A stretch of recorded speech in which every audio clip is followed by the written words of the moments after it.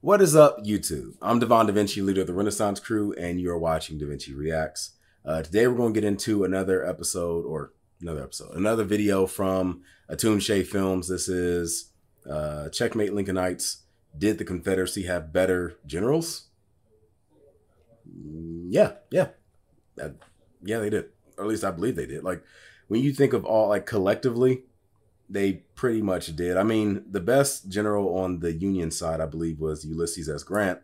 And even then, he had a war strategy very similar to Russia during the World Wars, where he pretty much just threw people at uh, the enemy until eventually he was able to topple them. A lot of fatalities on his side, a lot of fatalities. But uh, yeah, I mean, I'm I'm curious to see where this is going to go because this seems like based on my knowledge, which isn't a ton, uh, this is an argument that goes in favor of the Confederate guy. So this is a chance for him to possibly um, gloat, I guess. So let's go ahead and see what this has to offer. Um, I will have a link for Atun-Shei Films channel at the end of this video. You'll see an icon that pops up the last 30 seconds. If you click on it, it'll take you to their channel. You can like, subscribe, watch all the other good stuff. And I will have a link for the original video in the description box down below. You can click on that and watch the video if you don't want to see me, uh, or if you want to watch the video without me talking over it, or if you are a reactor yourself and want to do a reaction to it, or if you just want to show the video to somebody. That's the link that you will use. Uh, also, be sure to support the original uh, uploader. Check out the videos. Um, let's go ahead and jump into this. Oh, one second. Check. There we go. Mate. What? No. There must be somewhere old Jeff Davis can go. Nope. Might as well change his name to Norman C. Francis because he is done. What? Never mind, just some local humor. Gracious. How long that game go on for? I'm sure he has a video about Uh, that. seven months. Well, this is ridiculous. I never stood a chance. You were fighting with one hand tied behind your back. What with all your industry and naval power and some such. Naval power? What board game were you playing? But I think we both know who were the finer soldiers. Battleship. The men of the South. Never before, in all the annals of military history, were there a finer collection of officers at war than those of the Confederate States Army. Lee, Jackson, Forrest, Longstreet? we don't talk about him. Uh, Early, Beauregard, Mosby, and I'm sure there were some other ones too. Oh, the names of these men ring down through the generations as men of action, great masters of the art of war. If they were so good. Interesting didn't they word with win? masters. Checkmate. Davisites.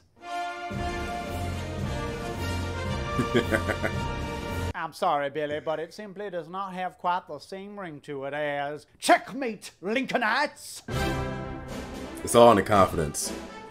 Checkmate, Davidites! Or David. I said David. where we Checkmate, obliterate Davis the Heights. righteous cause myth.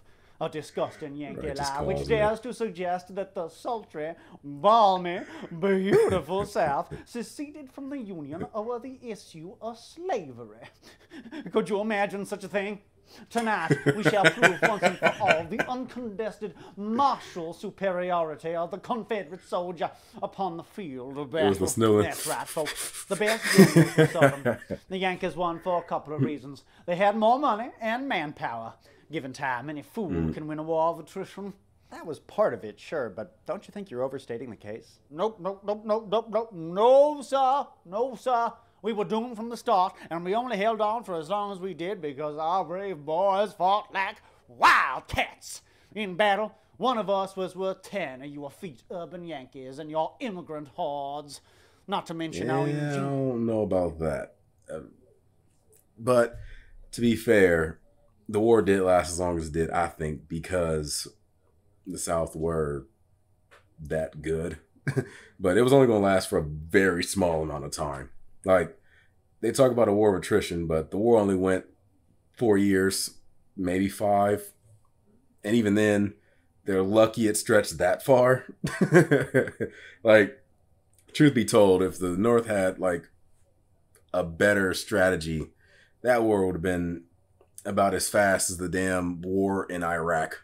Like it would have been like a, it would have been that damn long.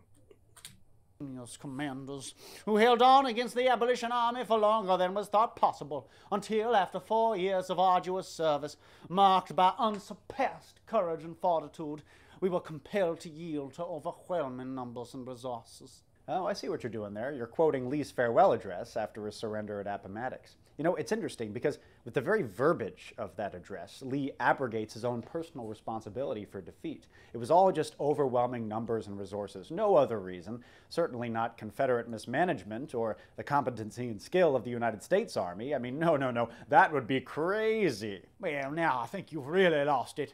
The North's industrial capacity was massive. See this photograph?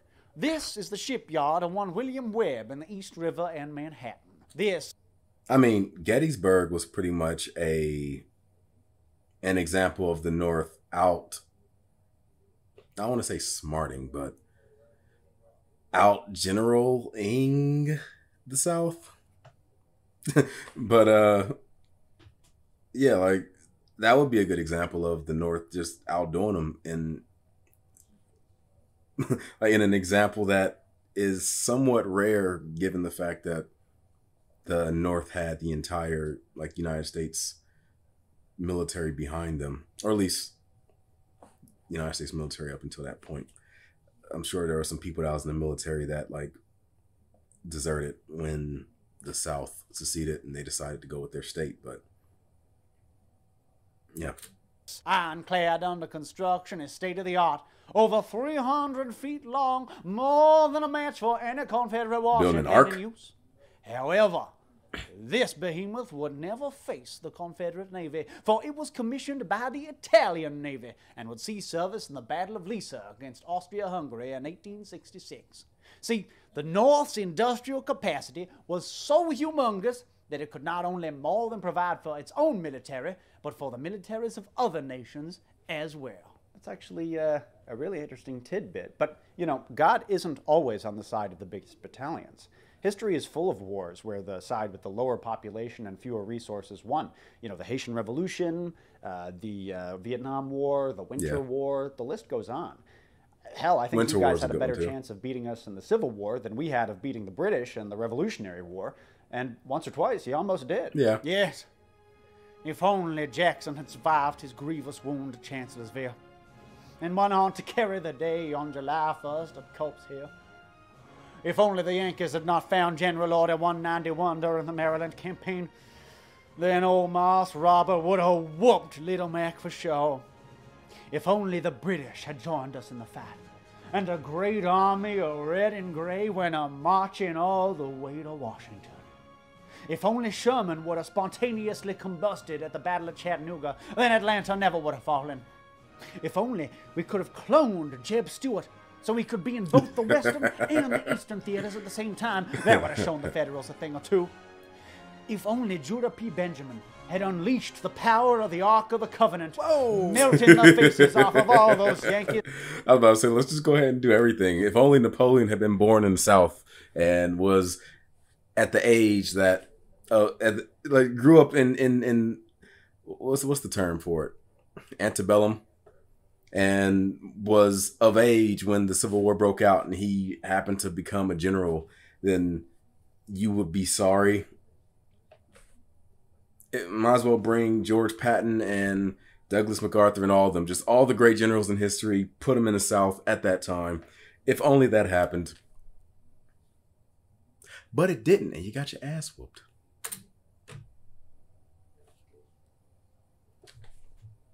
Scoundrels. I'd like to formally apologize for what he just said about Judah P. Benjamin. The world, we surely would have won the war then. Circling back, yeah, history has shown that a large industrial capacity doesn't always correlate with a nation's ability or willingness to make war lest we forget, there was substantial anti-war sentiment in the North throughout the Civil War, especially in the summer of 64, when the public perceived that the war was going extremely badly for the United States. Keep in mind, this was after Gettysburg and Vicksburg, when the tide supposedly turned against the rebels.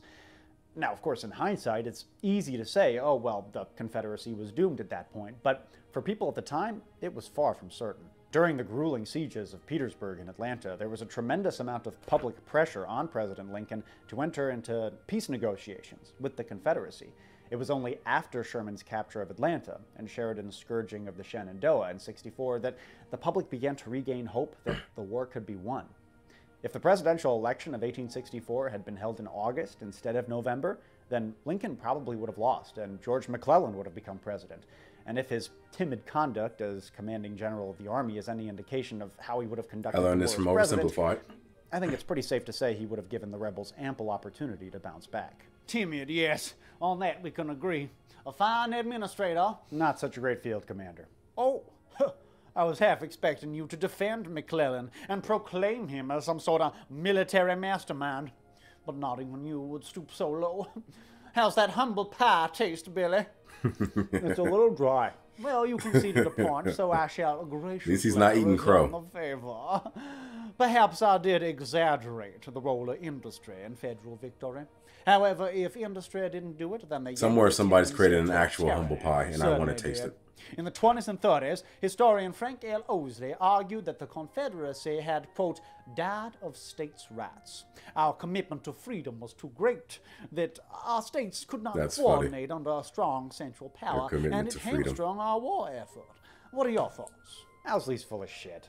First off, his entire premise is a fiction. I mean, sure, Davis clashed with governors over stuff like troop allocations. it's not that different from the defense, but these were Revolutionary events, the importance War. of which he greatly exaggerated. But more importantly, I just don't buy that the Confederacy's internal divisions were responsible for its defeat. The North had to deal with internal division that was just as, if not more intense than anything the South had to deal with. I mean, you take the 1863 draft riots, for instance, or the intense pressure on the Lincoln administration throughout the war for swift and spectacular battlefield victories, or the political polarization that followed the Emancipation Proclamation. Uh, talk about hamstringing the war effort. No, any way you slice it, the Confederacy lost the Civil War on the field of battle. The Lincoln administration outmaneuvered them politically, and the boys in blue annihilated them militarily. Sometimes when you start a bar fight, you end up on the floor. It happens. I notice a hero worship of the Northern generals and seething hatred of the Southern generals from our SJW historian. SJW Why am I not historian. surprised? He's looking for a narrative to sell instead of facts. Why don't we break it down? What's so great about all these secession generals? Go ahead, Johnny. Ball's in your court. I'll start Mm. strong, shall I? Thomas J. Jackson. He expelled the Yankees from the Shenandoah Valley in a near flawless campaign of maneuver and decisively flanked Hooker's 11th Corps at Chancellorsville. He also froze during the Seven Days battles when his lack of coordination with Lee and Longstreet caused horrifying numbers of unnecessary Confederate casualties. Look, I like Jackson, but I think his death was probably the best thing that could have happened to his reputation.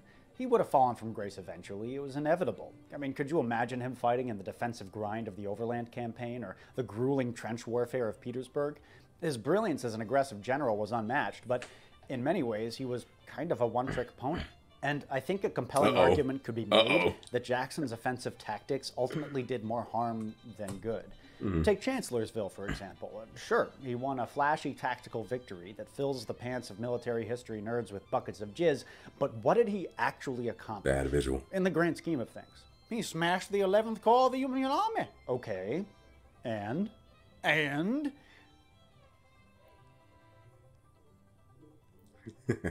and he got a lot of his own troops killed, troops that Lee could not afford to lose.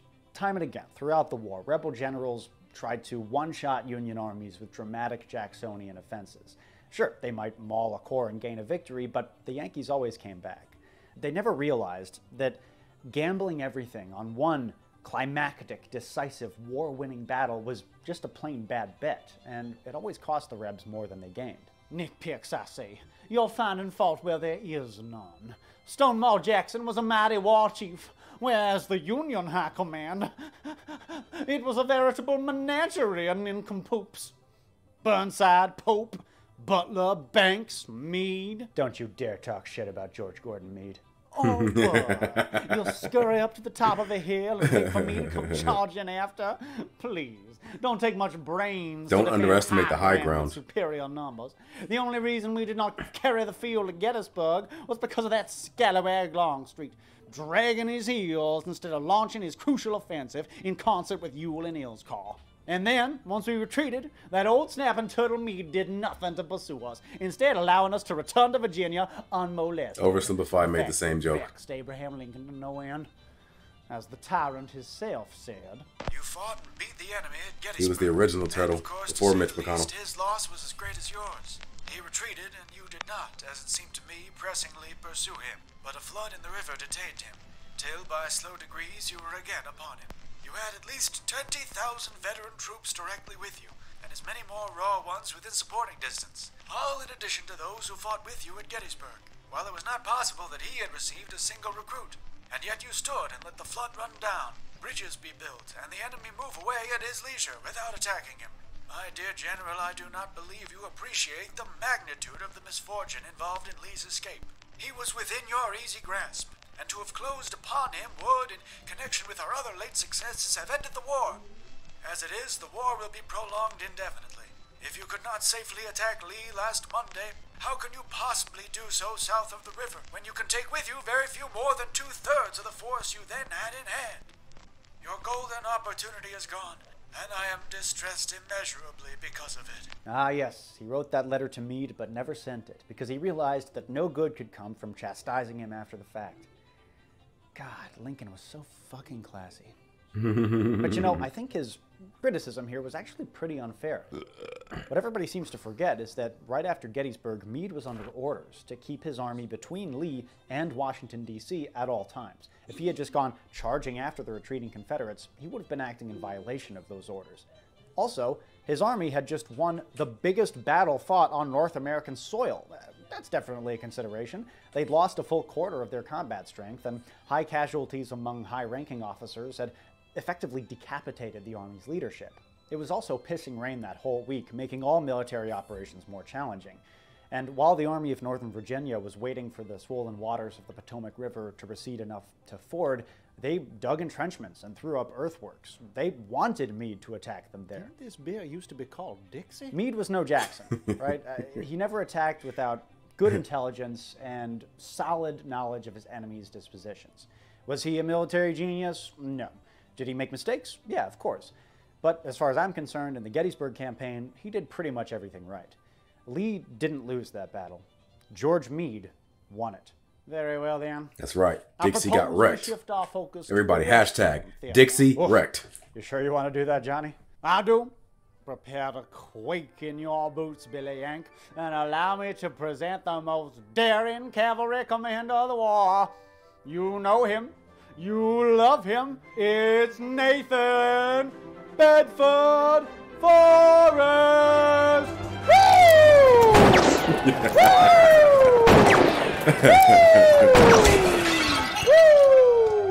Woo! Oh boy. Ric Flair, ladies and gentlemen. Ric Flair. Nathan Bedford Forrest, right. Uh, slave trader, Klan leader. Repentant Klan leader. Oh, well, that's okay then. The South's greatest cavalry officer was indeed appointed first leader of the KKK. He tried his best to keep it an honorable organization. Robert E. Lee had been offered the job first, but feeling that it would violate his parole and feeling that a younger man was needed, suggested Forrest. The Klan was never an honorable organization. It was founded Yeah. explicitly to terrorize black people and deprive them of their rights as American citizens. Now, Yeah. Forrest worked hard to keep his association with the Klan secret, but it's not all that hard to piece everything together. In 1871, he was actually called to testify before Congress as part of an investigation into the Klan's terroristic activities. Here's what he had to say when Vermont Congressman Luke P. Poland asked him point blank if he was part of the Invisible Empire. Are you a member of the Ku Klux, General? I, I'm not, but I am in sympathy and will cooperate with them.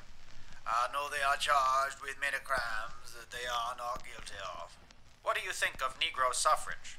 I am opposed to it under any and all circumstances, and in our convention urged our party not to commit themselves at all upon the subject. Of course. If the Negroes vote to enfranchise us, I do not think I would favor their disfranchisement. We will stand by those who help us, and I want you to understand distinctly that I am not an enemy to the Negro. We want him here among us. He is the only laboring class we have, and more than that, I would sooner trust him than the white scalawag or carpetbagger. When I entered the army, I took 47 Negroes into the army with me, and 45 of them were surrendered with me. I said to them at the start, this fight is against slavery. If we lose it, you will be made free. If we whip the fight, you stay with me, and bigger boys, I will set you free. In either case, you will be free. These boys stayed with me, drove my teams, and better Confederates did not You know, just in Black one case, black you know, just in one case, you're guaranteed to be free. In another case, eh, you'll be free when we come around to it. Yeah, when we feel like it, you know. Yes, let me see him wet his pants over the idea of black Confederates. In either case, you will be free. These boys stayed with me, drove my teams, and better Confederates did not live. black Confederates, black Confederates. They were Teamsters. Don't get excited. Come on, we've been over this. Do you think the Ku Klux will try to intimidate the Negroes at the election? I do not think they will. Oh However, a black man named Andrew J. Flowers from Chattanooga also testified at the hearing, and he painted a very different picture of the Klan's activities in Tennessee. Do you now hold some office? Yes, sir. I am a justice of the peace. When were you chosen a justice of the peace? I was elected on the 4th of late August. Are justices of the peace in Tennessee elected by a vote of the people? Yes, sir. I was elected by a vote of the people. I want to inquire of you, particularly in reference to some violence which it has been understood was committed upon you a short time ago. Tell us the story in reference to that. On the 18th, between 11 and 12, or 10 and 11 o'clock, I cannot say exactly which, I woke up and there was a crowd of men, all with masks around me, with pistols in their hands. They waked me up. They called me by my name. They took me out near a mile from the house. Tell all that they said. They asked me what was my name. I told them. And some of them said, Oh, yes, you are the man we are looking for, and so forth. One of them told me they were going to kill me. He had a pistol in his hand. After they got me outdoors, the captain of the organization, they called him Captain, told me that he was going to whip me. Said he would give me 25 lashes. That I had had the impudence to run against a white man for office and beat him. That they were not going to allow it that it was an organization organized by them to stop Negroes holding office. And if they did not get out of office by being told or notified or whipped, they were going to kill them. They took me up about a mile from the house and hit me as many as 25 times. Did they take you into a woods or a swamp? They took me through the woods into an old field, down near a swamp. I had never been there before. They took off my coat and whipped me with hickories seven or eight feet long. They said they were going to give me 25 lashes, and I guess they gave it to me. They told me that if I would promise to resign my office when I went to Chattanooga next morning, they would turn me loose. And I very readily promised it. They required you to promise to resign your office. Yes, sir. Flowers went on to describe how the Klan was using intimidation and violence to keep black men from voting, along with many other acts of domestic terrorism that Nathan Bedford Forrest not only aided and abetted, but more than likely orchestrated. Oh, you are dastardly Billy Yankin besmirching General Forrest, so you know as well as I that in 1875 he gave a speech to a black civics organization in Memphis in which he said, We have but one flag, one country. You can say one thing and do stand another. Together. We may differ in color, but not in sentiment. Many things have been said about me which are wrong, and which white and Only black thing older than America me through the wall Besides. Go to work. patriotism Be industrious, is hypocrisy. Are oppressed, I'll come to your relief. The speech went over stupendously, and as the crowd erupted in acclamation, one African American woman gave the old general a bouquet of roses and a peck on the cheek. Yeah, he said that toward the end of Reconstruction, after the Klan's goal of reestablishing the antebellum social order had been accomplished. Southern Democrats were back in power at that point, and Forrest could afford to be magnanimous. I think his message here, though presented in a very nice and friendly way, was work hard, stay in your lane, and we won't have a problem. Now, I'll grant you this, man. It is also entirely possible that Forrest did have a genuine change of heart. I'm not discounting that. A lot of people at the time thought so. In fact, when a lot of uh, Forrest's former comrades in gray heard about this speech, they shit a brick. One Confederate veterans group went so far as to publish this in their local paper. We endorse no action unworthy of a Southern gentleman. I speak of the address delivered before a black and tan audience by General Nathan Bedford Forrest. With what a glow of enthusiasm and thrill of pride have I not perused the campaigns of General Forrest's cavalry, their heroic deeds, their sufferings, and their successes under the leadership of one whom I always considered, in my poor judgment, second only to our immortal Hampton. And now, to mar all the luster attached to his name, his brain is turned by the civilities of a mulatto wench who presented him with a bouquet of roses. What can his object be? Ah, General Forrest. Well, Billy, I won't lie to you. That's really quite vile. I'm gonna go ahead and say something real quick, and some people aren't gonna like it, but I don't care because I'm going to say it anyway. Um, and this carries on with the discussion that I had in one of my Bo Burnham uh, reactions, uh, white straight male, and which I discussed white privilege and things like that. And I came up with, I, well, I came up with my personal definition of what I believe white privilege to be. Go watch that video if you want an explanation. Watch it first before you judge, because chances are, if you're going to assume my position, I can almost guarantee you're wrong. So go watch it and then come back and you know listen to the rest of this uh, discussion. Um, one of the things that I guess you could say white people in America had that black people didn't was that after slavery in particular, black people weren't giving given anything to help start their life. Like a lot of people, especially that are that are white, when you come to America or your ancestors had immigrants that came to America, for the most part, they were allowed from the very beginning to, you know, own a house, own land, establish themselves, get a job, uh, work, uh, save money, build a fortune or whatever, pass it on to your kids, and that's something that can stay with your family for generations. With black people, it was like slaves weren't allowed to own land or do anything like that. If you became a free black person, even if you did own something, you were still expected to stay within your lane. If you dare to aspire to be more than what was considered a typical black person, you would usually get the wrath of the white people around you. Um, somebody would come through and intimidate you, tell you to uh, stop being so uppity, things like that. Normally, try to force you to uh, get back to a certain particular standard. And when it came to other things like education and things like that, they did not want you in their schools. So usually you have to. I'm not sure if this is before or after the Dred Scott case. I believe it was after the Dred Scott case. Um, the whole separate. Well, no, Dred Scott was something different. I believe. I'm thinking of Plessy Ferguson. Um, I don't know if it's before or after that, but that was the whole separate but equal segregation thing, and black facilities when it came to education things like that were notably less um, had lower quality than than the white counterparts. Um, so even though like we could technically get an education at that point there was still roadblocks. When you talk about voting uh, black people are still being disenfranchised whether it was through literacy tests or grandfather clauses or uh, poll taxes or anything like that. There were things put in place that were specifically designed to keep Black people from being able to vote in favor of their own interest. Um, when it came to uh, where you could live, there was redlining that kept Black people in certain areas. Uh, a certain area, like you would keep them in a certain area, and then you could intentionally, you know, focus on improving white areas, but not worry about the black areas because you knew where the black people were at.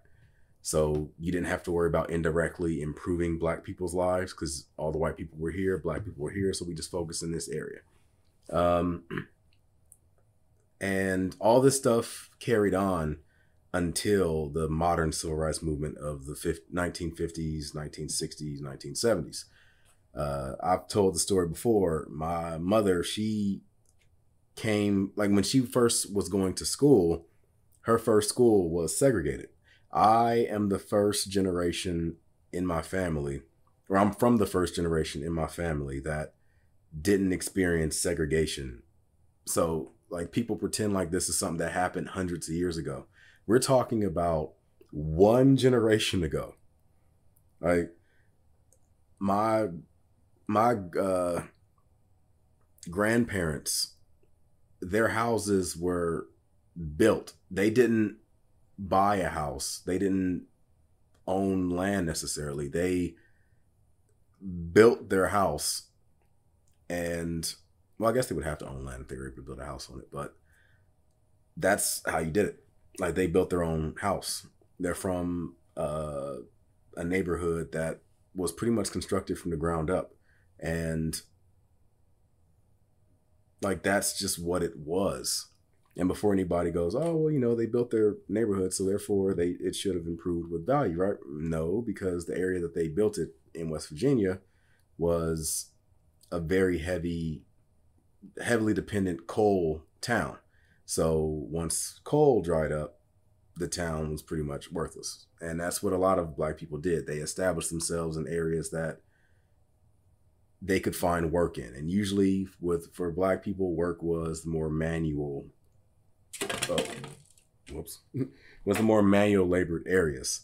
Um so it's like a lot of black people are just now getting in a position where they can start their american lives. Because before that a lot of people were stuck in a situation where they were at an automatic disadvantage from the from the jump. Uh, one someone in my uh, chat or comment section described white privilege in this way. They said that nobody is saying that white people don't have problems because they do, or some people or white people have struggled too. But the issue is can you say that your struggles are based on your skin color? Can you say that the problems that you experience are because of the color of your skin? Because black people, we can we can bring up struggles that are exclusively because of the color of our skin. Um, the example that I always pull out is if you see two people walking down the street, you see a black person walking down the street to you, you see a white person walking down the street to you. Inside your heart, do you feel when you see one person, do you go, okay, I feel more safe walking by this person than the next person? You might be someone that goes, either one, I don't care. I feel the same way. But there are people that will say they feel more intimidated with the black person than the white person. The fact that they have that prejudged notion of the black person being more likely to do something to them or more likely to let's say rob or whatever the hell else that is where the privilege comes from. It's the fact that you don't have this preconceived notion of being in some type of or you don't have this preconceived notion of doing something in like in a negative way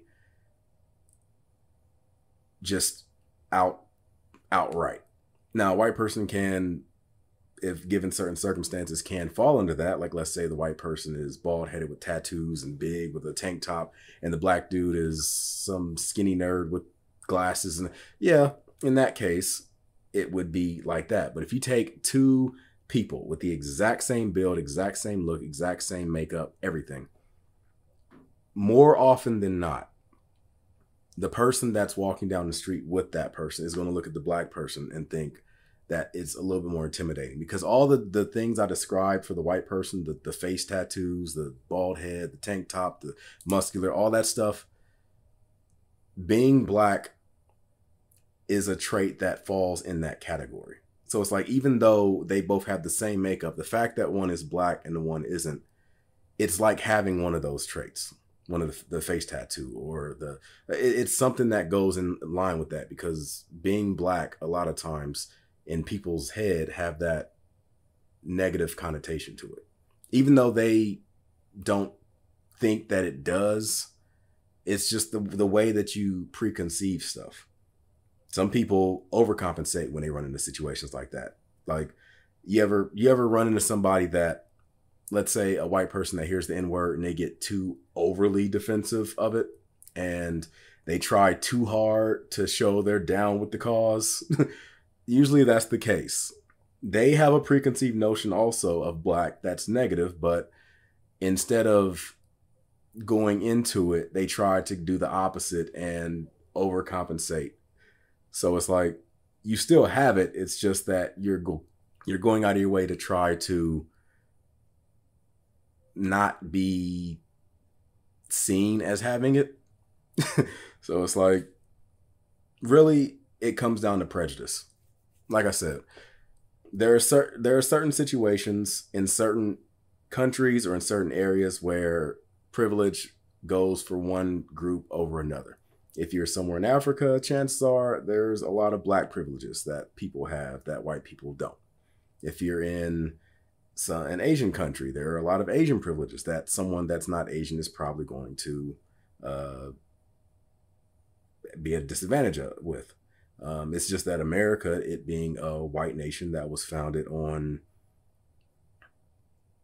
uh, I don't necessarily say it was founded on racist principles, but when it was founded, it had racist principles. So the fact that the foundation has that automatically means that that is just an advantage that's there. Same thing could be in England, same thing could be in Ireland, same thing could be in any other nation that was founded as white because as humans we are automatically instinctively instinctively built with a us first them uh mindset so from the very jump you're automatically going to have preconceived notions regardless of who you are. I don't care if you want to pretend like you're you don't have that, that's a lie. Everybody has preconceived notions. Period.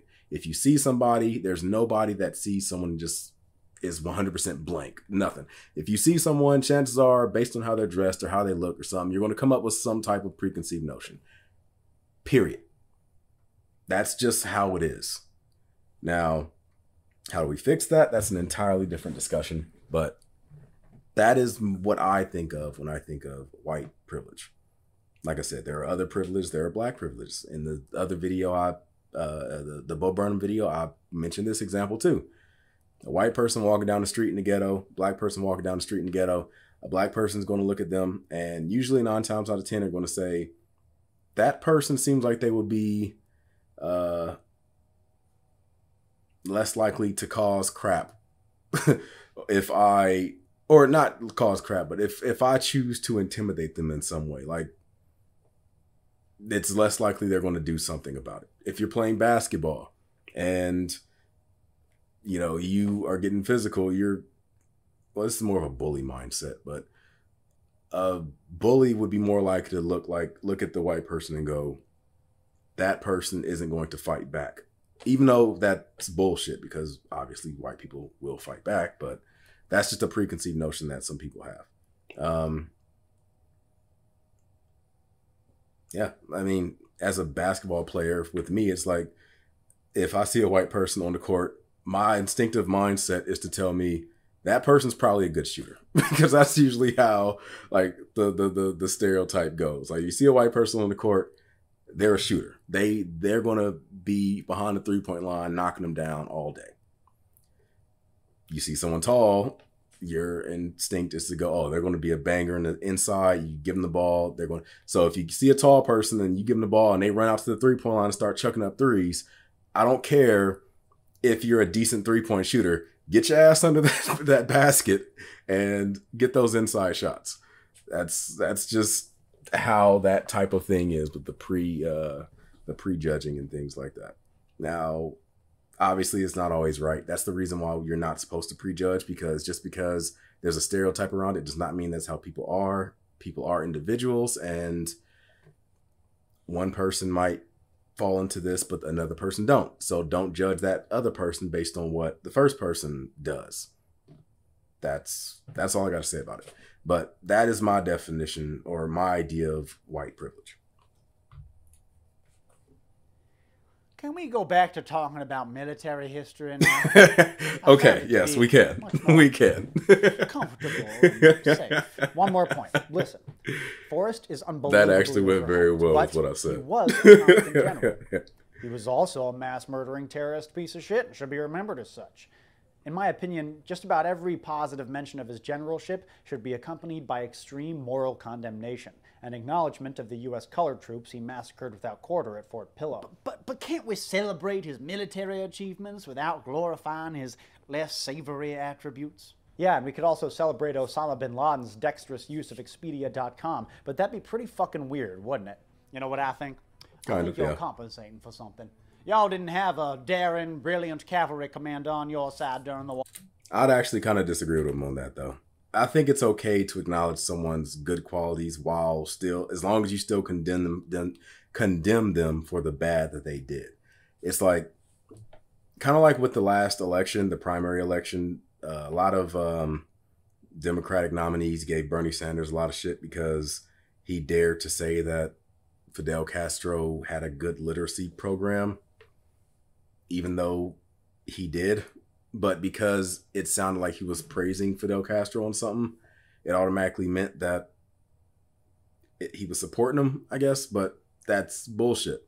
If someone does something good, you can acknowledge that what they did was a good thing.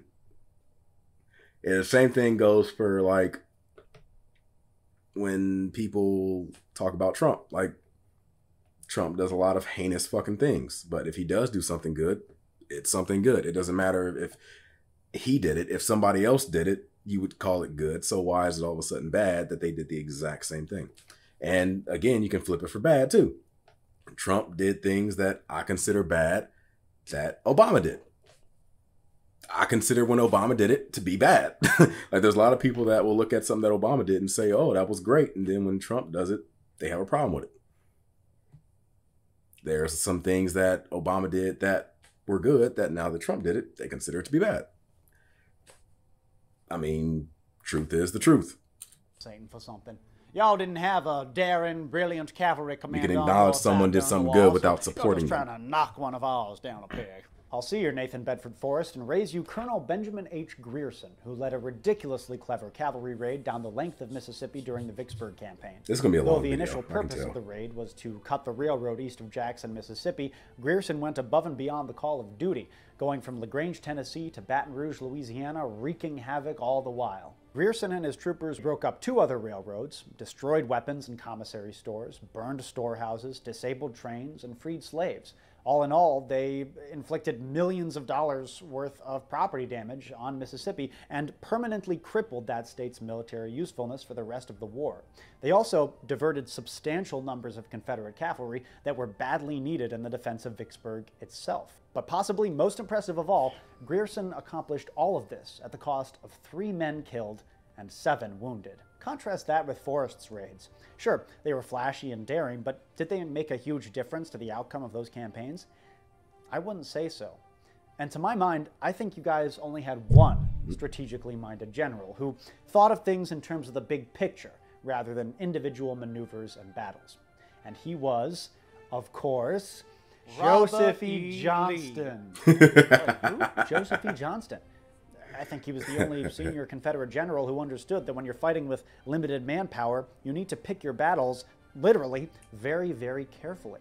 Most other rebel generals thought of war in terms of attacking or defending dots on a map. They were very geographic in the way they went about it. But Johnston understood that when you're outnumbered and outgunned, stubbornly holding on to bits of dirt can often be counterproductive. Maneuver, even I'm gonna try to say this real quick because I don't want to. Like I said, this video is gonna be long, so I'm gonna try to keep the pausing to a minimum as much as I can.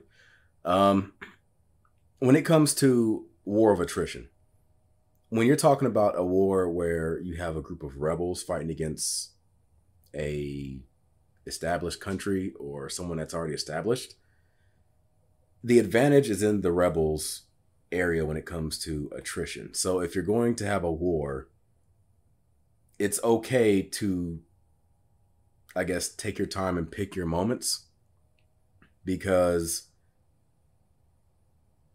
the established side they're the ones that have a public that they have to appease as well and it's more likely that the public on that side is going to um, fall into the okay, that's enough of this. We're tired of it. Do something like end it. We don't care. Whereas the rebels are more likely to be like, no, keep fighting. We can do this. Let's go. Like whether it's the war of independence with the British eventually going like, you know what, screw it, we don't care, we've already lost too much, let's keep it going, like let's just end it. Whereas on the rebel side, it's like, no matter how dire the situation got, not rebel, as far as the American uh, patriots are concerned, it's like no matter how bad the situation was, it's like you got to keep fighting because not only do they have the biggest risk, but they also have the biggest reward. If they lose, all of them are likely going to get killed and their legacies are going to be tarnished. If they win, then they're the greatest of heroes and they establish themselves in their new republic or estate or whatever you want to call it. Same thing with the rebels in this case the side that had the I mean the side that was pretty much saying, okay, we have to come up with a, a finish to this before a certain time, otherwise we're we're done. We, we don't care. Was the Union. The Union was the one that was pushed against the clock because had the war dragged on longer, the Union would have been the one looking to settle it, whereas the Confederates would have probably kept fighting as long as they could. But I mean, they ended up losing, so it didn't really come to that. But Strategic retreat can be much more beneficial in the long run. There is no way to fight with honor. Yeah, that's what Jeff Davis often said, which is exactly why Johnston hated him so much and privately talked all sorts of shit about Jackson and Lee. Whereas, it must be said, our side was full of keenly strategic military minds. Look no further than George Henry Thomas, the Virginian Unionist. Like Meade, that is he was John Goodman. You can't fool me. Imperiled the lives of his men unnecessarily. But unlike Meade, he was creative. He was adaptable. He could always shift his strategy in the chaotic and ever-changing circumstances of warfare. George Thomas, that, that is strange. I really haven't heard much about this faithless Virginian. Well, that's because he was modest to a fault. In fact, he probably wouldn't want me to even mention him in this video, because he never wrote a memoir, and he even destroyed his wartime correspondences because he couldn't stand the idea of future generations picking over the events of his life. He also faced a lot of discrimination from his northern superiors because of his southern origins, and he was often overlooked for promotions and acclamations.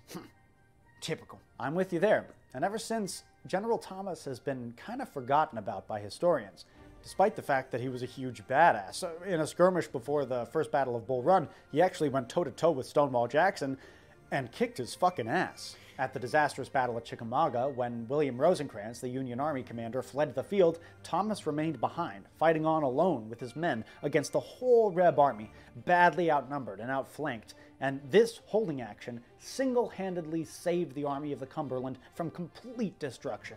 And two months later, United States forces would get their revenge at the Battle of Missionary Ridge, where Thomas and William Tecumseh Sherman orchestrated a frontal attack on the Confederate center that shattered their lines, and those lines, might I add, were entrenched on high ground. And then, High in ground. December 1864, He said it. Thomas faced off against John Bell Hood, who sucks, by the way, in the Battle of Nashville, and destroyed his army that's not hyperbole. He literally destroyed it. The Army of the Tennessee was laid low, its ruin smote upon the mountainside. There would be no more large scale fighting west of the Appalachians for the remainder of the war. George Thomas never lost a movement or a battle, and may very well have been the best general on either side in the entire conflict. Lord Almighty. What else this fella do? Cure cancer? Mm-hmm. Though, as far as good Union generals go, there's one person that we haven't talked about yet. Let me guess. Sherman. Do it again, Uncle Billy. Spare me your memes, sir. Besides, we've already done an entire episode about him. Mm. No. No, no, no, no, no, no, no, no, no. No, no, no, no. No. Sherman is but the apprentice. He He is the master.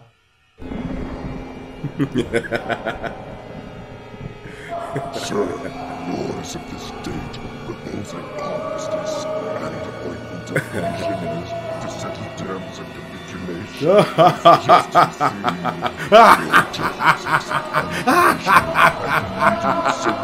I'm sorry, I was trying to add to the atmosphere.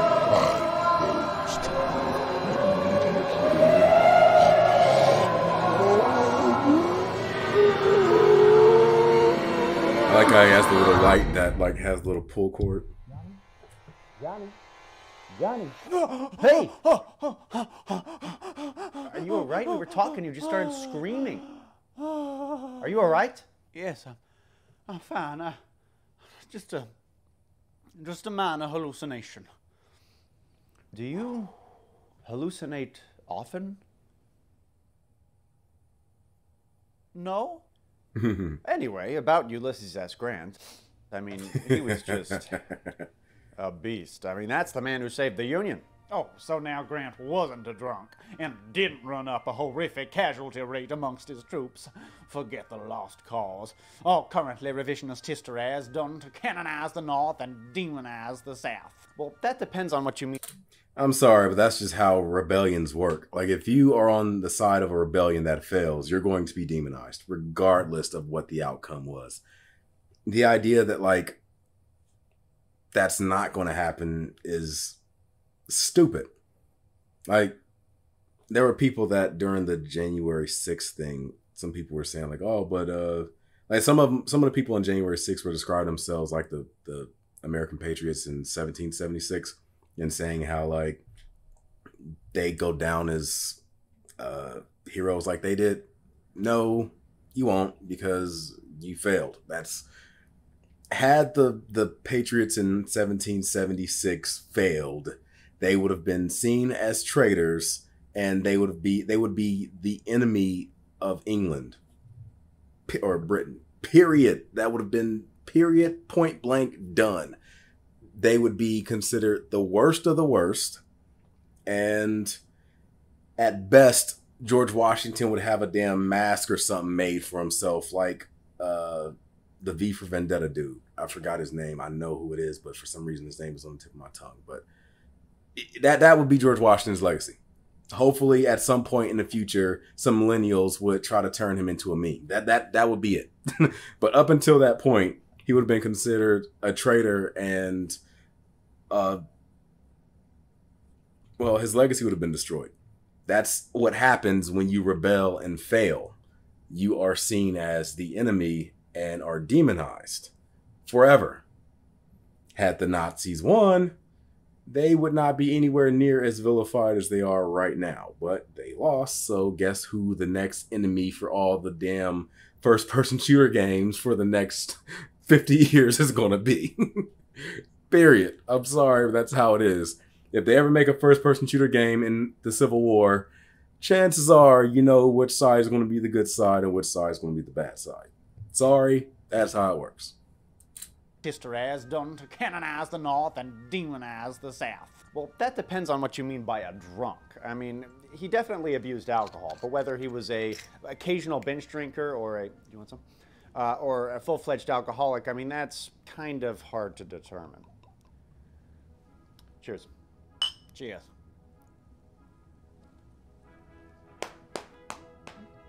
Whew! Whew. If the Butcher Grant is the best you Yankees have to offer, then I'm afraid you are in a heap of trouble. For there is simply no comparison betwixt the Butcher Grant and old Marse Robert E. Lee.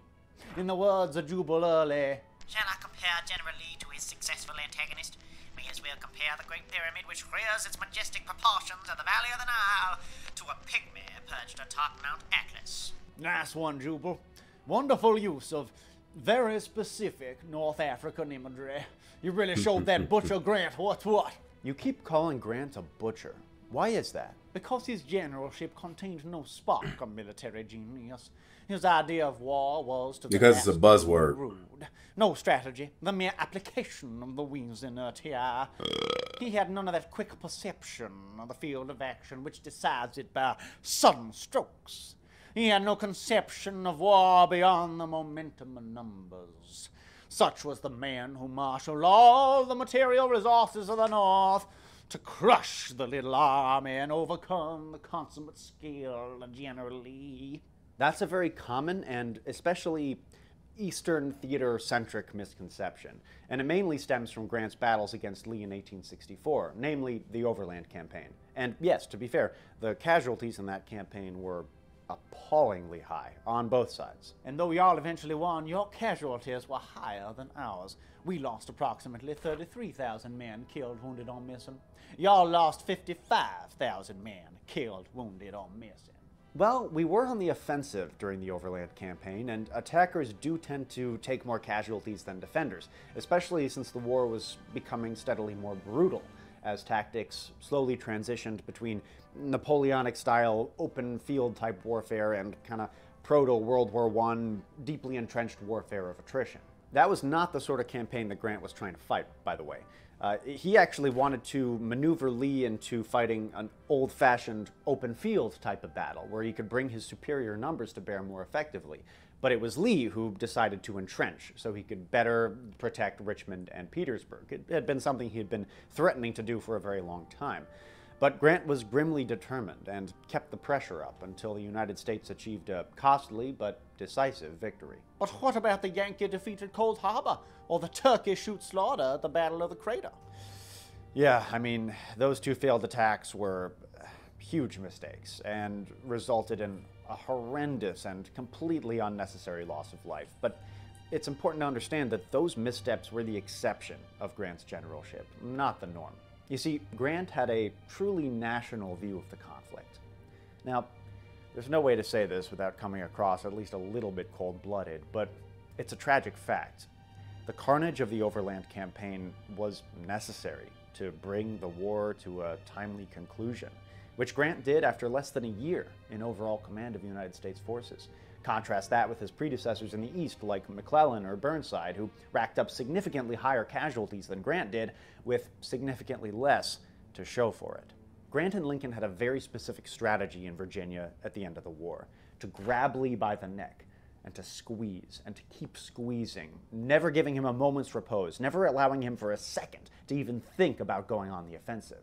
Mr. President, if we are to draw troops from the field, it will prove difficult to suppress the rebellion in the disloyal states. My withdrawal now from the James River would ensure the defeat of Sherman.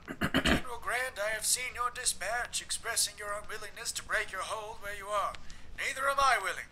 Hold on with a bulldog grip and chew and choke as much as possible. And as battered as Grant's army was, Lee's had suffered far worse, losing a full half of its combat strength in the Overland Campaign alone. And while the United States could always augment its forces with fresh troops, the Confederate States were running out of options. As Grant himself reflected, The rebels have now in their ranks their last man. The little boys and old men are guarding prisoners, guarding railroad bridges, and forming a good number of their garrisons for entrenched positions. A man lost by them cannot be replaced. They have robbed the cradle and the grave equally to get their present force. Besides what they lose in frequent battles and skirmishes, they are now losing from desertions and other causes at least one regiment per day.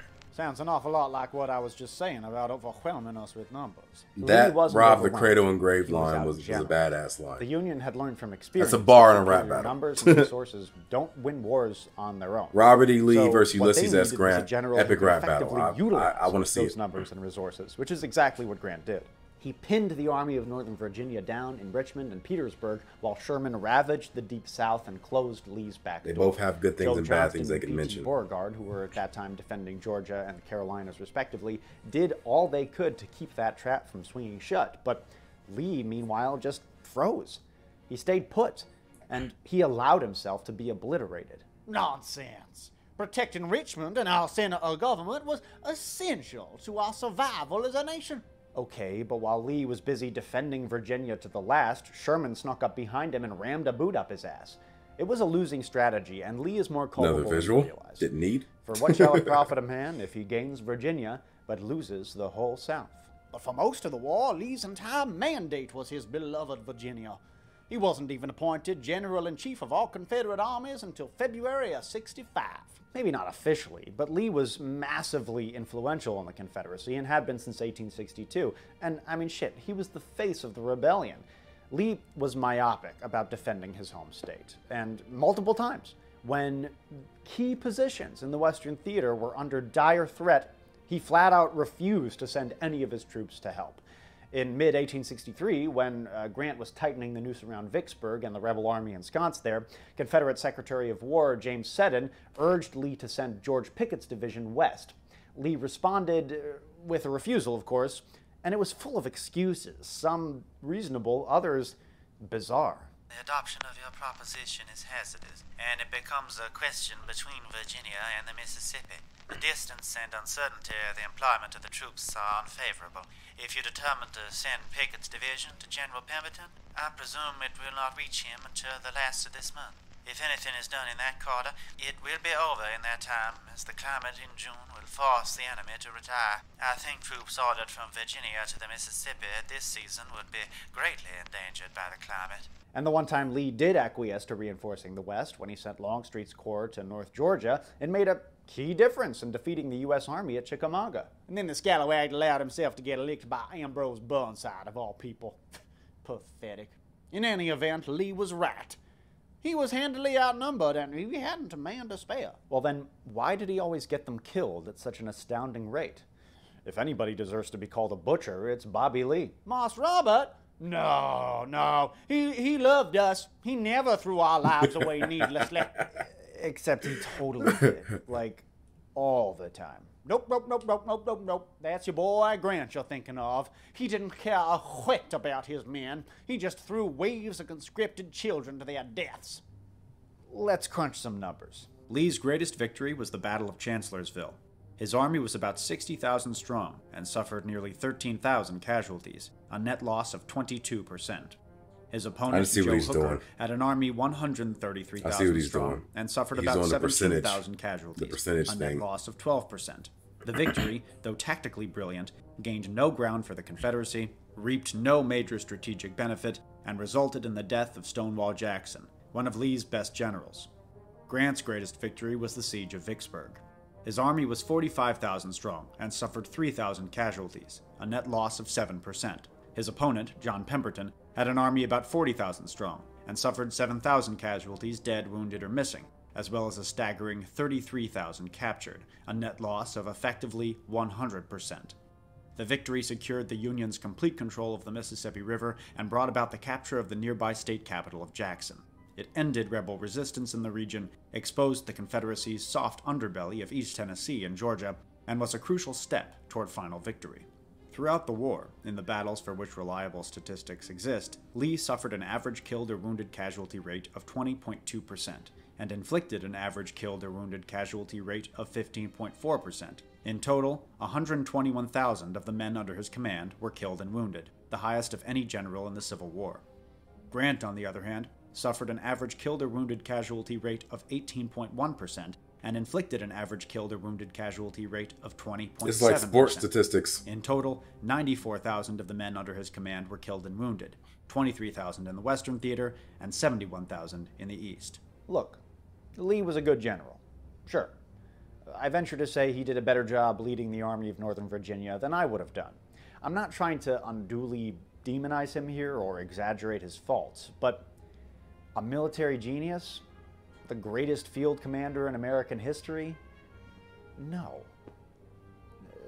That's a fairy tale, born from more than a century of creepy pseudo religious deification. In many ways, the comparison between Grant and Lee tells us all we need to know about why the war went the way it did. Lee led with the power of personality. He thought that war should be grand, sweeping, and heroic. He loved dramatic charges and clever tactical sleights of hand. He considered logistics to be an annoyance rather than an opportunity, which is why Confederate military history is full of flashy daring do, but pretty short on substantial operational success. Grant, meanwhile, was all stubbornness and pragmatism. War was not a game to him. There was nothing poetic about it. Like his buddy Sherman, he believed that to wage war meant to bring it to a favorable conclusion as quickly as possible. And to achieve victory, he used every tool available to him deception, diversion, maneuver, relentless attack, and dogged defense, and never lost sight of the big picture. Battles didn't really matter that much in of themselves, they were just stepping stones toward the distant goal of ultimate victory. And that's why, for the most part, the Confederacy did not have better generals. You were obsessing over tactics while we were planning strategies. You thought small, we thought big. That's why we won. Look at you. Smugly conducting military campaigns 150 years after the fact from the comfort of your armchair. This chair doesn't have arms. Generalship aside, Lee was by far the better man. Look no further than how Grant and Lee treated their slaves. Grant kept his and said he not raise his sword to free any slave. Lee, on the other hand, freed his. He acquired them in marriage and treated them justly. That's maybe like a quarter true. In the mid 1850s, Grant did manage about 30 enslaved people at his father in law's farm. By all accounts, he was a terrible slave driver because he was too gentle with them. A woke slave driver is still a slave driver. I couldn't agree True. more. And Grant was, briefly, a slaveholder himself. He owned a man named William Jones for about a year before freeing him in March of 1859. Yes, Grant was a slave owner, and General Lee was, of course, an abolitionist. No. He called slavery a moral and political evil. I have a quote. In this enlightened I mean, so did Thomas Jefferson, believe, too, But but- what we'll acknowledge that slavery as an institution is a moral and political evil in any country. Yeah, and in that same letter, he also says The systematic and progressive efforts of abolitionists to interfere with and change the domestic institutions of the South are truthfully and faithfully expressed. The consequences of their plans and purposes are also clearly set forth, and they must also be aware that their object is both unlawful and entirely foreign to them, and can only be accomplished by them through the agency of a civil and servile war. The blacks are immeasurably better off here than in Africa, morally, socially, and physically. The painful discipline they are undergoing is necessary for their instruction as a race. How long their subjugation may be necessary is known and ordered by a wise and merciful providence. So based on what I this, it seems like he's someone that believes he holds his personal opinion on a certain thing, but then he acts when it comes to what he thinks the national thing is. He, like he he believes one thing, but he doesn't express that when it comes to his political beliefs, I guess in a far lesser extent. it would be like me. Um, let me see. What's what's an example? Personally, I tend to fall on conservative sides of arguments on things, but political, or not politically, but when it comes to the way I vote and things like that, I fall much more liberal. Because in my opinion, people shouldn't be shouldn't have to live based on what I consider to be ideal. You should be free to come up with your own, or you should be free to live your life however you want to live it, not based on how I live my life. So it's like I have my way of doing things over here, but that by no means is how I see the way other people should live as well. Like I guess in a certain flipped way, he's kind of like that. Like he thinks that slavery is immoral, but he thinks that from on a national stand like perspective, it's this way. So, I mean, clearly it's wrong, and like I said, with him, it's like flipped. Whereas me, I, I tend to reserve myself a lot, but when it comes to the overall perspective, I think there should be a lot more like freedoms for people to do whatever the hell they want. I hold myself to a certain standard. I don't expect other people to live by that standard. Whereas with him, it's like his standard was the way he sees slavery, but he doesn't expect the South to be held to that standard, even though he should have. but it's like a twisted way of doing, like of the same way of thinking, but just opposite moral uh, alliances. If Lee believed slavery was an evil, he thought it was a necessary one. And actions speak louder than words, right? Hiring records show that Lee Very personally owned people until at least 1852 and frequently sold or traded them away at his own convenience, even though that meant breaking up their families. Evidence from his personal letters shows that when Lee did free his slaves, he didn't do it out of the kindness of his heart, but rather because he hated supervising them and didn't want them around. When he briefly managed his wife's slaves at their house in Arlington, he was a notoriously cruel slave master and drove his people hard. As late as July 1860, he considered buying even more slaves and rented out slaves as personal servants throughout the entire Civil War. Well, it's not a. I'm not done. Politically, he consistently supported pro slavery policies, and after the war, upheld laws specifically designed to restrict the rights of freedmen. He also frequently expressed racist views, which were certainly very much in keeping with his time, but are still a far cry from our popular image of the kindly General Lee. During his time in Mexico, he found the people of that country to be, Weak, primitive in their habits and tastes, he referred to Native Americans as, hideous, uninteresting, and the only people he seemed to have any affection for at all were, predictably, though climate, government, and circumstance have produced Why does it sound like he's talking shit about people on like a in Tinder while, as he qualities swipes they left? resemble the races from which they are sprung, and to no race are we indebted for the virtues and qualifications which constitute a great people than the Anglo-Saxon. Your sainted Grant was no better. Did you know that he was You know what's funny? The Nazis got a lot of their ideals or the way they expressed their ideals from like Confederate America, or at least one of the areas that they did.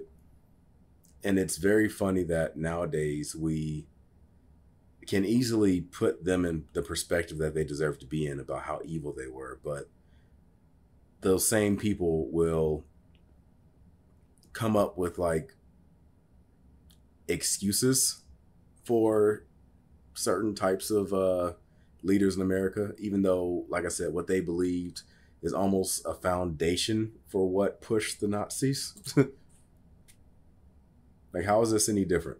Indebted for the virtues and qualifications which constitute a great people than the Anglo-Saxon. Your sainted Grant was no better. Did you know that he was a rabid anti Semite?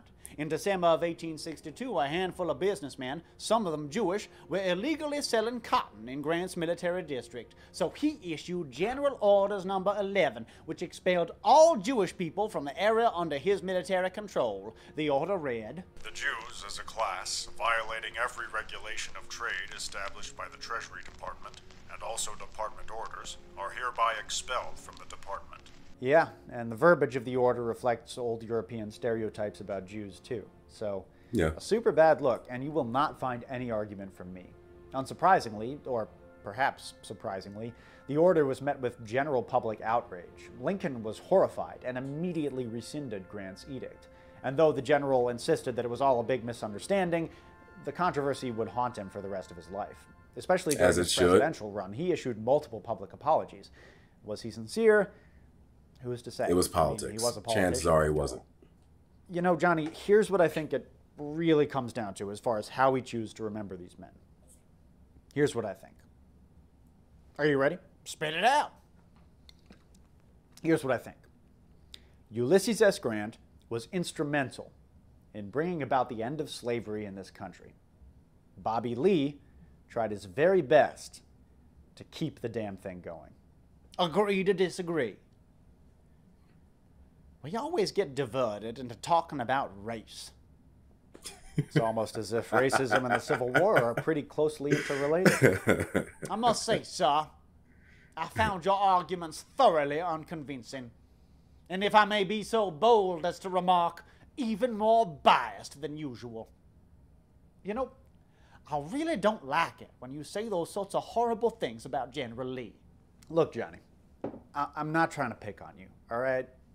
It's just that lost causers have been sucking Lee's dick for 140 years. It's like the longest blowjob in American history, and it's left a real stain on this country.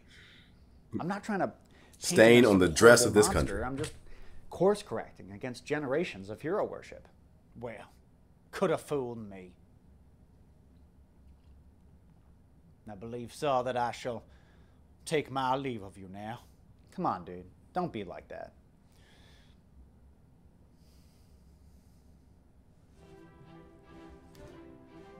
See you in hell, Billy Yank.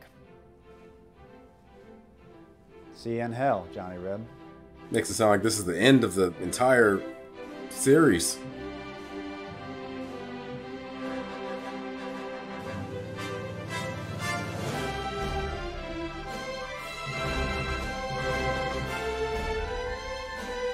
Is this the end of Checkmate Lincolnites?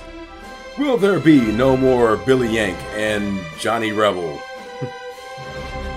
what can we make of the, the, the blowjob dress? Find out next time, possibly, on Checkmate Lincolnites.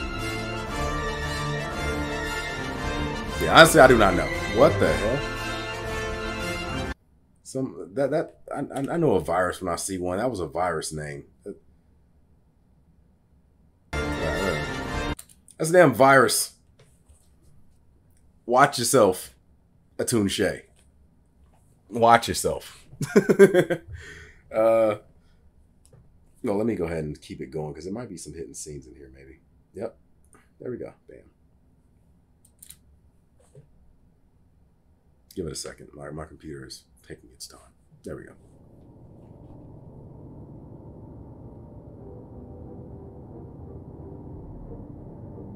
Oh, that's Nazi. That's Nazi.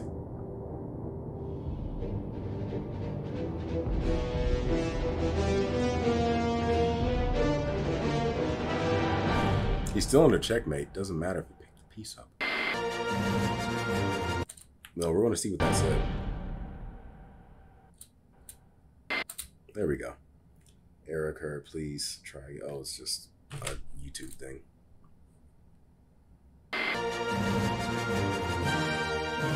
Any more?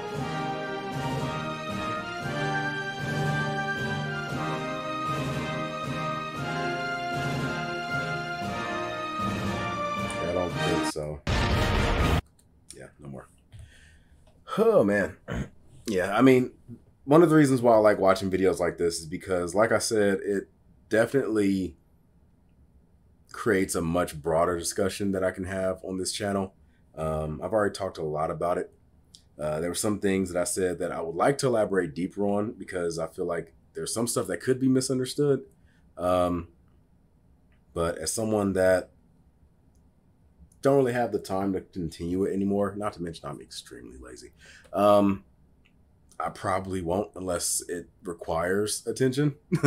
but uh, yeah, one thing I did want to say before I ended it to clear something up when I talked about the whole white privilege thing, the examples I gave were two different types of white privilege, and that was intentional. Like, I wanted to talk about it from a historical uh, perspective of black people being in a position where in the past you weren't able to own land, things like that, and pretty much generate generational wealth and and pass that on to the next generation, as opposed to someone who first moved to America, being uh, that's like white, were able to buy a house and then maybe pass that house on to a family member, and because now they don't have a house to worry about, they can focus on something else and they can pass that on and you know builds. It, it's about potential generational wealth. Now, there are white people that were in situations that their relatives ain't leave them a goddamn thing. Like, like they were just in a situation where they were just fucked. But the point being that the reason why you would be in that situation if you are white is because your family just either didn't save anything or maybe they lost it or maybe they weren't able to create it, but the fact is the opportunity was there. Black people, there was no opportunity. You couldn't own it because you were not allowed to. Even if you had the means to make it work, you weren't allowed to get it to work because from the very jump, you couldn't do it. It wasn't until I'd say four generations ago that that opportunity became available. And even then, it was restricted And then it wasn't until two generations ago, I'm to say two just because at this point, I think some families have had a previous generation that were after the civil rights movement. Um, there was only two generations where you had pretty much full access. Let's put it that way. Um, but yeah, that's what I wanted to clear up on that end. Um, the fact is, the reason why that generational wealth didn't transfer in the white family isn't because of race. There was likely other factors what could lead to the family suffering and things like that. But the bottom line was it wasn't race tied. The black family, it was 100% race tied. Now, I'm sure there's going to be a really interesting discussion in the comments section. I look forward to that, I guess. but uh, yeah, let me know what you all think. Go uh, to the comment section, leave your discussions and things like that. Uh, as long as if everything is respectful, I have no problem allowing it uh, discussions to be had. Um, yeah, I mean the last video, the um, the straight white male from Bo Burnham that comment section I have allowed to pretty much run without having any too much interference in because for the most part people have very reasonable discussions. Even people that might not disagree I mean even people that might not agree with me they don't come out and like attack and things like that. So I have no issue with um leaving those comments there now I will debate you if I feel like you're saying something that's wrong but as long as if you're not giving out misinformation or intentionally trying to um, misrepresent or troll or anything like that, then I have no problem with the discussions. Now, this video is way too long. This is pretty much a movie reaction at this point. Um, hopefully, it won't destroy my uh, ability to for the video to process. I'm hoping it's able to be done within a certain period in time because my long videos take forever. Adobe Premiere uh, Premiere Pro really has to work on that because once a video becomes so long, it's like it processes decent. Then once it hits a certain spot, it just like hits a crawl and it takes hours for it to finish. But um, by the way, if anybody knows any solutions to that, please go to the comment section and let me know. If you've been around here for an hour and a half, please give me a like because at this point I think I deserve it. I mean, of course, you can give a like or not if you choose to. Hell, you can give a dislike if you choose to, but uh, give something. And yeah, if you have something you want to say, feel free to say it. Go to the comment section. Let me know. I'm gonna give you the deuces. Uh, hopefully, you've been enlightened. I look forward to seeing you guys on a future video. I, I had another video planned, but this one was so long that I'm probably gonna push that off to later. Uh, I'm gonna give you the deuces, and I'm signing out. Peace.